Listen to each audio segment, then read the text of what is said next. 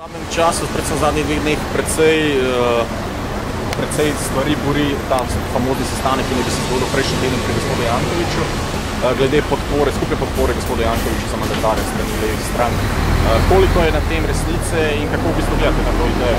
Glede na to, da naj bi za tem stal tudi gospod Kučan, s katerim naj bi bila tako vi kot gospod Jankovič dobra prijatelja.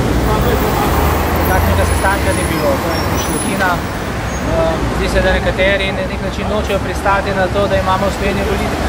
Da volivci in volivke 21. septembra suvereno po lastni presoji, presodnosti, ki jo nedvomno premorejo, odločili med posameznimi strankami in na ta način tudi dali vedeti, ali si želijo neko koalicijo, ki bo spremenila to vzdušje v Sloveniji, vzdušje izrednih razmer, delitev na naše in vaše, stalnega obtoževanja, iskanja notranjih zunanjih sovražnikov ali pa neko koalicijo, Zdaj smo se pogovarjali skupaj z opozicijskima LDS in SD, da skupaj z nekim pozitivnim programom poskušamo iti za suk, spremeniti način vodenja politike v Sloveniji iz komandnega v nek dialoški in odpreti pomembna razvojna vprašanja Slovenije. In to je tisto, kar je na dnevnem redu, vse drugo so špekulacije in na nek način ozgibanje temu za nekoga, za nekatere neprijetnemu, za nas pa izjemno prijetnemu in osvobojočemu občutku, da bodo ljudje imeli zadnjo besedo. Ampak kako resna pa je ta špekulacija v zvezi z tem, da bi skupno podporo dobil gospod Jankovič za mandatarja?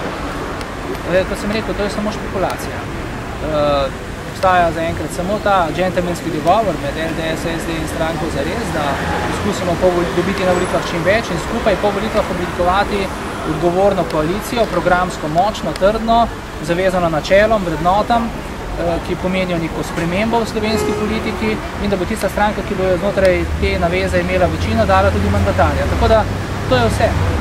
Pričakujete, da bo gospod Jankovič podprl vašo listo? Glede na to, da je danes bil gospod Jankovič tako na pikniku Desusa, tudi Desusova lista, ki je kandidiral v Ljubljani, se mu je predstavila pred magistratom. Včeraj mislim, da so bili že LDS-ovi pri njemu. Tudi vi boste naredili kakšno tako predstavitev pri gospodu Jankoviču?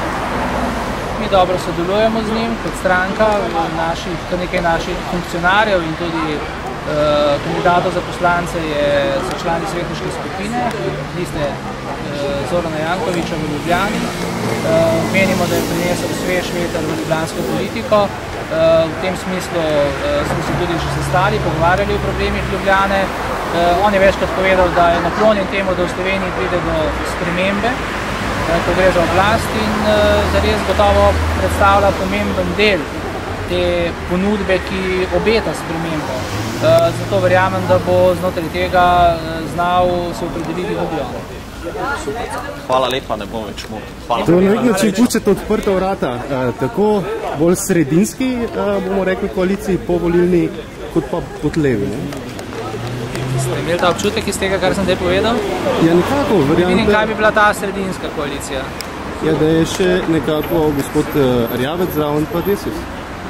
Ja, da če ste imeli občutek po vseh soočenjih, ki so zgodila, da so z gospodom Rjavcem zelo koalicijsko uh, kompatibilna, kompatibilna ne?